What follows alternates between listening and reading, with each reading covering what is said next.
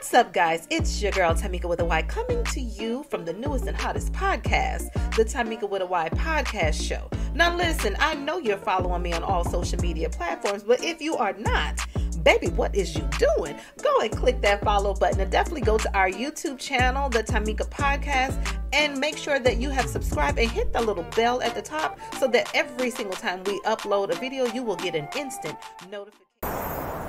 Our midweek motivation is a call to action, it is an invitation for growth.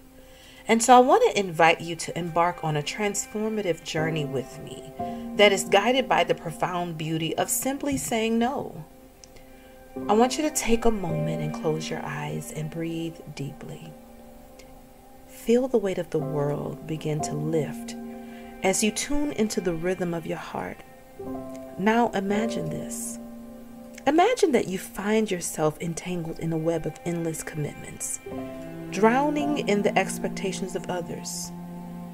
You fear disappointing, letting down, or even being perceived as inadequate. Yet, amidst all of the chaos, a soft, gentle voice whispers, My dear, it's time to embrace the power of no.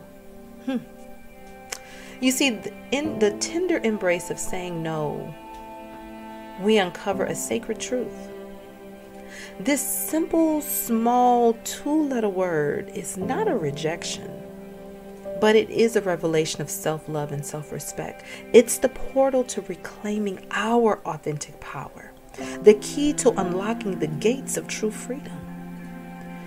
Let me share this wisdom with you. No the word no by itself is a complete sentence.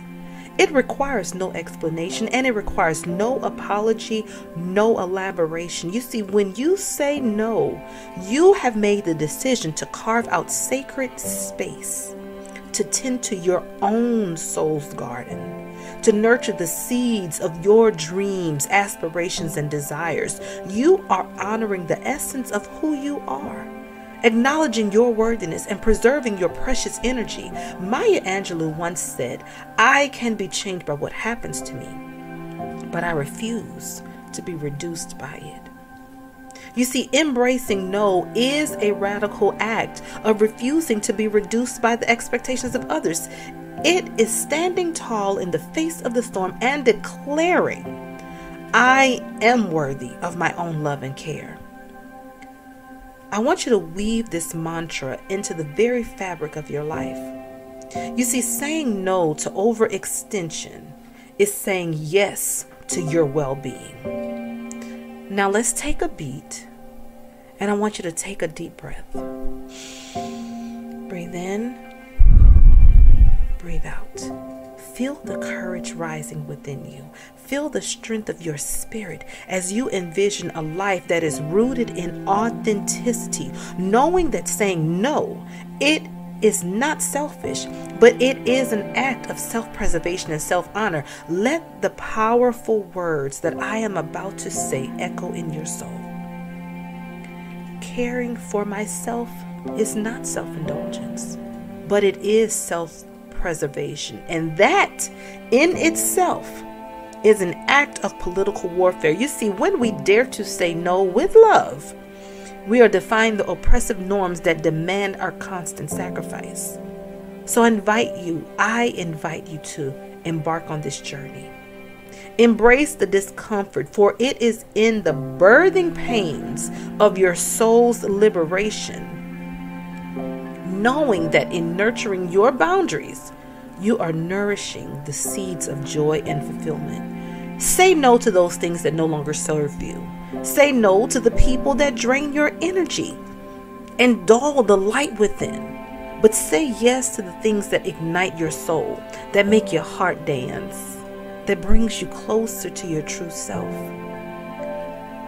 I invite you to affirm these words. Repeat after me I am allowed to be both a masterpiece and a work in progress simultaneously. You see, saying no allows you to honor your masterpiece, who you are becoming, while acknowledging that you are still unfolding, you are still growing, and you are still becoming.